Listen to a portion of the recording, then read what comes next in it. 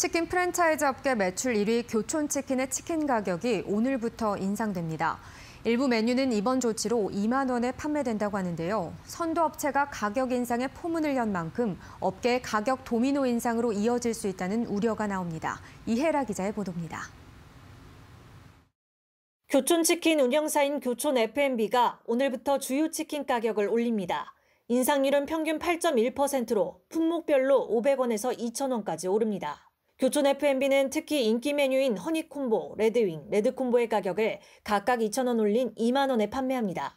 배달료를 제외하고도 치킨값 2만 원 시대가 열린 겁니다. 교촌 F&B는 이번 인상에 대해 인건비 상승과 수수료 부담이 늘어난 점 등을 이유로 들었습니다. 하지만 회사가 지난 3분기 분기 사상 최대 이익을 낸 만큼 가격 인상이 납득되지 않는다는 목소리도 나옵니다. 교촌은 지난 2018년 프랜차이즈 업계 최초로 배달료 유료화를 도입해 업계에 파장을 일으킨 바 있습니다. 이번 가격 인상 행보로 BBQ, BHC 등 치킨 프랜차이즈 업계에 도미노 인상을 가져올 수 있다는 분석이 나오는 이유입니다. 제너시스 BBQ, BHC는 현재까진 가격 인상을 고려하지 않는다는 입장입니다. 다만 해당 가맹점주들이 교촌 가격 인상을 근거로 치킨값 인상을 요구할 수 있다는 점이 변수입니다. 촉매제 역할을 해서 올라가게 되지 않을까 보고요.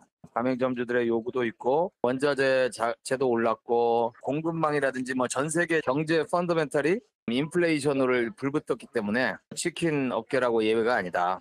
닭고기, 기름 등 원재료 가격의 급등과 배달료 상승으로 비용 부담이 커지고 있는 상황에서 선두업체가 가격 인상에 나선 만큼 치킨 업계의 가격 인상이 확산될 가능성이 있습니다.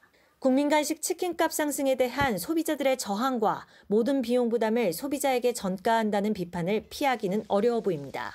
이데일리 TV 이해랍니다.